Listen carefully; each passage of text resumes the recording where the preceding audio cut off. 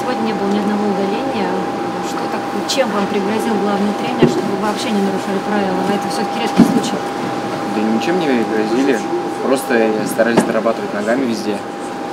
Ну, сегодня, да, вот игра без судей получилась. А У соперника только одно удаление было, и у нас ноль. Такая, такие игры бывают.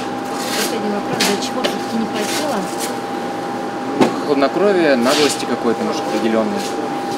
Так-то играли неплохо, может быть, первом периоде э, они где-то посвежее были, побыстрее. Но со второго периода уже была наша игра. Чуток не хватило. Как раз таки, что касается первого периода, вот чуть медленно начали встречу. Это игровой ритм сбился из-за выходных или соперник чем-то удивил наоборот? Знаете, просто бывают такие дни. Я не знаю, с чем это связано. Э, Все готовятся, все тренируются. Ну, где-то, может быть, эмоций, может, где-то не хватило. Надо разобраться с этим. Ну, это от этого не уйти. Бывает, у всех такое.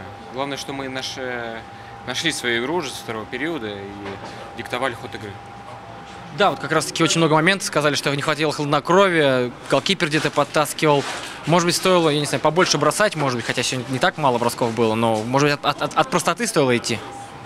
Да и много моментов было и от простоты, и не от простоты. Просто чуточку не хватило, да, там вот какие-то микромоменты э, сегодня их спасли.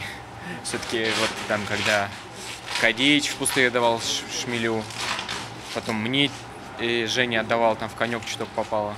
Ну, много моментов было. Надо было забивать такое.